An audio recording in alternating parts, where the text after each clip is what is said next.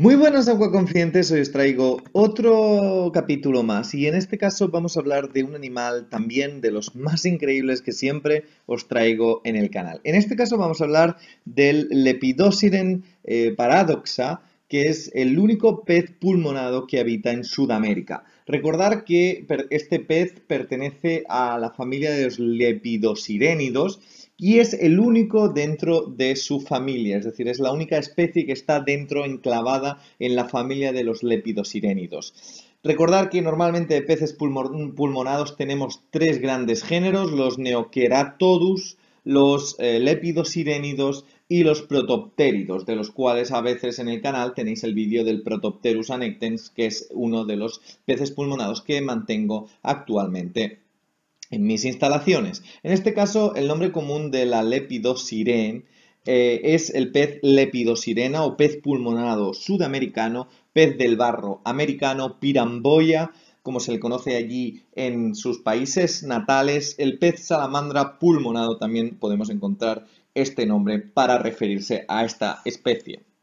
El descubridor fue Pitzinger en 1837 y la distribución geográfica lo enclavamos, como hemos comentado anteriormente, en el continente americano, en la parte de Sudamérica y en realidad está bastante distribuido a lo largo de todo el continente, principalmente eh, Brasil, principalmente Venezuela, principalmente eh, Paraguay, pero también lo vamos a encontrar distribuido en Bolivia, en la Guayana francesa, en Perú, en Argentina, etcétera, etcétera, etcétera. Es, una, es la zona del Amazonas, del centro del Amazonas primariamente, pero está bastante distribuido en esa zona a lo largo de todos estos países. El hábitat donde vamos a encontrar las lepidosirenas son eh, zonas de lagos, charcas, pantanos, sobre todo son zonas con una gran eh, hipoxia, es decir, son zonas hipóxicas en las cuales hay muy baja concentración de oxígeno porque hay una eh, cierta estancación del oxígeno dentro de estas zonas y por lo tanto lo vamos a encontrar pues eso, en fondos marginales de remansos de, de de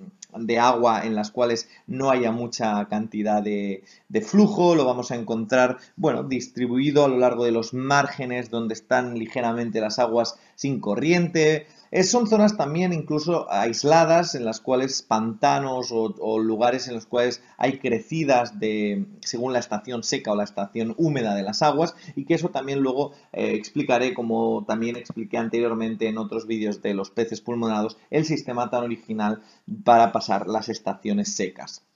La temperatura para mantenerlos, lo indicado sería entre 24 a 28 grados y el tamaño máximo que pueden crecer las lepidosirenas son bastante consistentes, pueden medir más de un metro, concretamente tiramos al metro 20, metro 30 como mucho una lepidosirena. Es por ello que lo mejor o lo más indicado para mantenerlas sería un acuario específico cuando son juveniles de unos 400 litros y cuando son adultas ya estaremos hablando de grandes instalaciones de 900 litros, 1000 litros, 1200 litros para este tipo de ejemplares adultos que necesitan, a pesar de que no son de gran nadar, sí que necesitan sus zonas para poderse estirar y poder recorrer de vez en cuando el acuario. Recordar también que estos animales cuando son jóvenes tienen unos patrones absolutamente que yo creo que son exquisitos, son totalmente negros y tienen como piquitos, como puntitos de color dorado, son increíbles y luego ya cuando pasan a la etapa adulta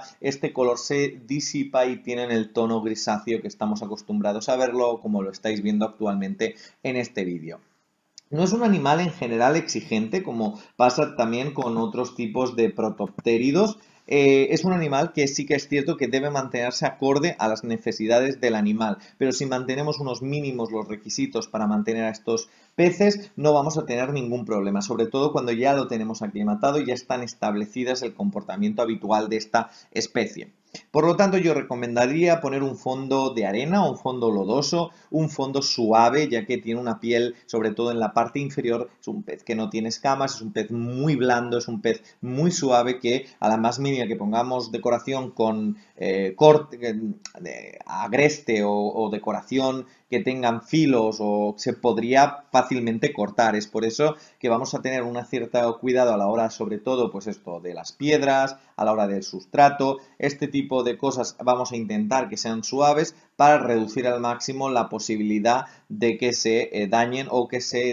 eh, bueno que puedan tener heridas que luego desemboquen en, enfermedades o en hongos o en, o en bacterias. Por eso también yo aconsejaría una corriente bastante baja o prácticamente nula. Son aguas estancadas, por lo tanto no les gustan para nada las corrientes de ningún tipo agua sin corriente con espacio suficiente para nadar y la iluminación media baja sobre todo. Es una iluminación baja porque estos peces con iluminaciones intensas normalmente se suelen estresar. En este caso no sirve el tamizar como a veces recomiendo para cuando hay algunos peces que necesitan poca iluminación, a veces digo lo de tamizar con plantas flotantes, en este caso no, no pueden haber plantas flotantes, de ahí es básicamente porque este pez tiene dos pulmones y respira aire atmosférico, es por lo tanto si tenemos una, una gran eh, su superficie cubierta con plantas flotantes le vamos a dificultar el que pueda sacar la cabeza afuera para respirar aire atmosférico, porque esto es de vital importancia.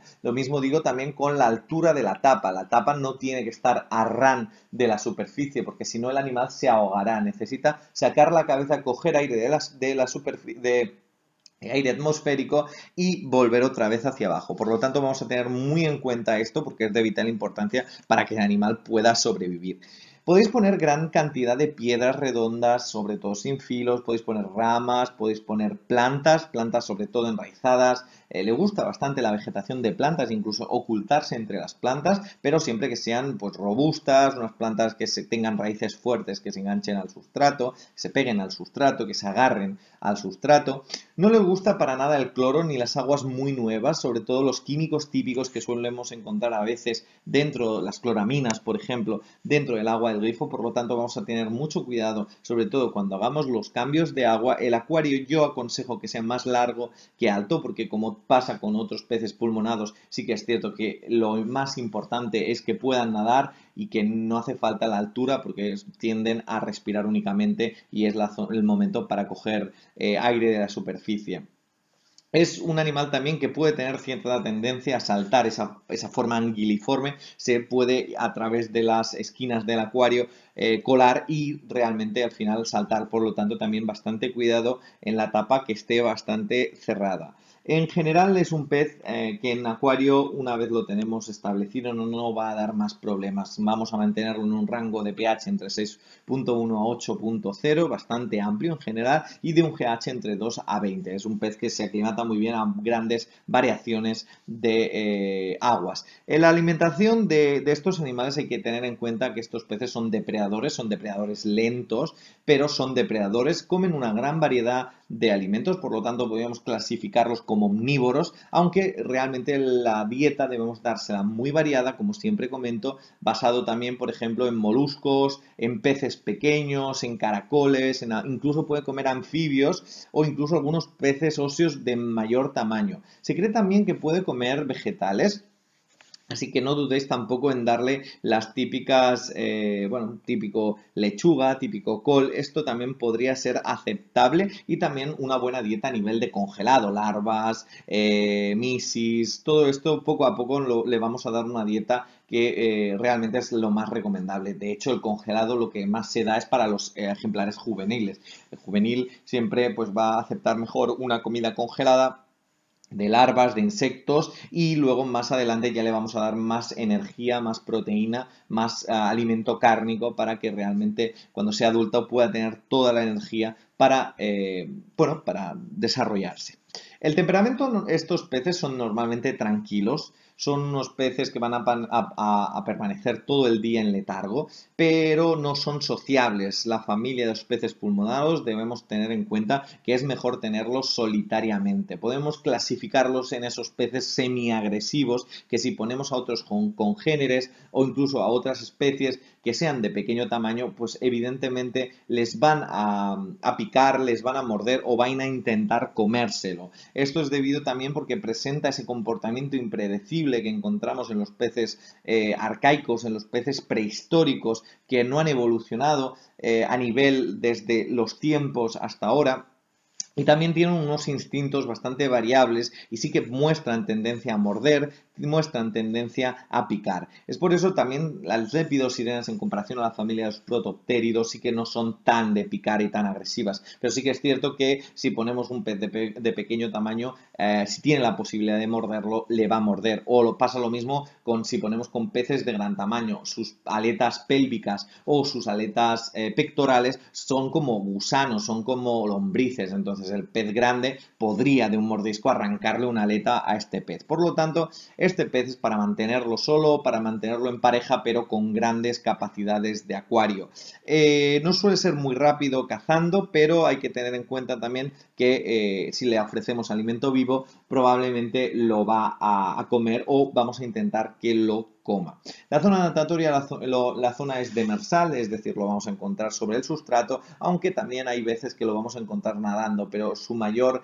actividad la va a realizar en la parte baja del acuario. La longevidad es bastante eh, desconocida, en realidad este animal no está muy muy estudiado a nivel de ciclos, a nivel... En realidad se estima aproximadamente que pueden llegar a los 8 años, pero existen reportes de oceanarios y de acuarios que incluso los han catalogado hasta los 15 años. La experiencia para mantenerlo es bastante sencilla, es bastante fácil, pero creo que debemos tener bastante en cuenta de que para mantener a estas especies hay que seguir unas rutinas de cambios de agua. Yo aconsejaría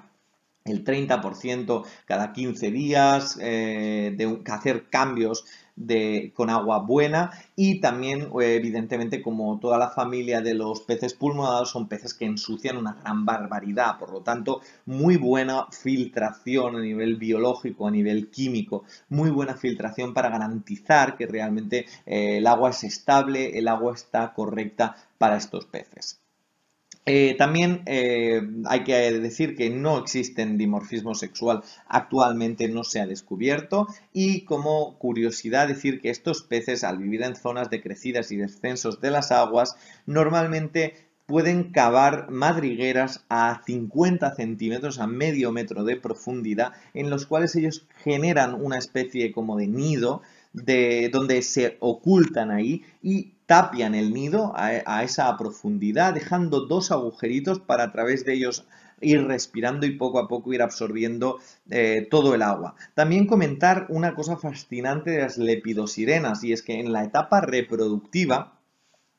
también, es, eh, perdonar, estando en, en, hibernación, en esta especie de nido que comentaba antes, pueden estar incluso entre 3 a cuatro años introducidas allí en una especie de semiletargo increíble que es único en el reino animal. Dicho esto, hablando de, otra vez recuperando el tema de la reproducción, las lepidosirenas, eh, cuando llega la época de lluvia, que es cuando finalmente ya eh, salen de esa hibernación, de esa estivación, el macho normalmente construye también otra madriguera, en este caso, la construye también con ramas, con pequeñas hojas, es, algo muy excepcional dentro del mundo de los peces a nivel eh, antiguos, dentro de los protoptéridos, y en esta madriguera, en esta especie de nido que generan ellos, depositan la hembra los huevos que luego serán eh, fecundados. Entonces, cuando ya llega la zona de las lluvias,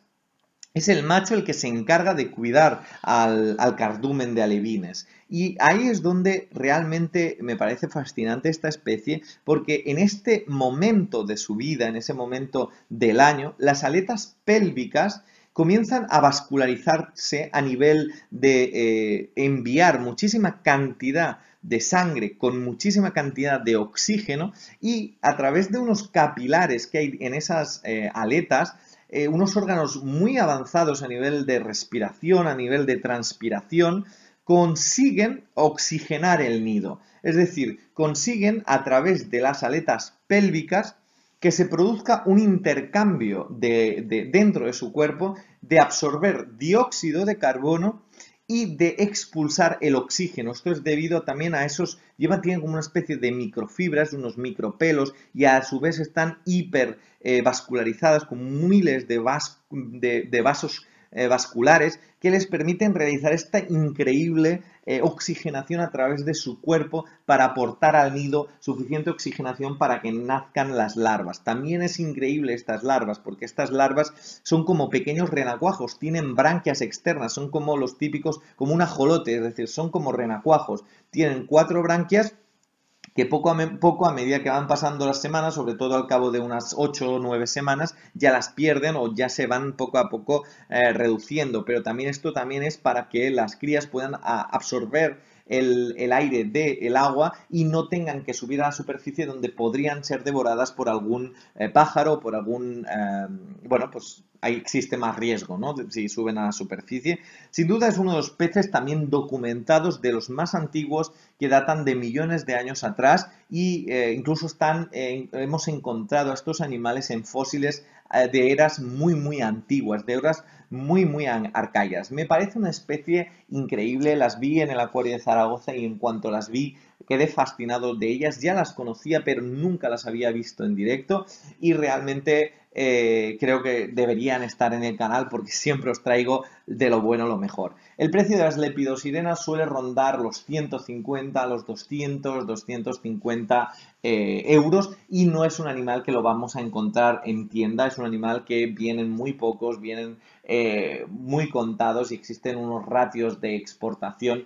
muy muy ajustados. Sin duda la la lepidosiren paradoxa es un animal increíble.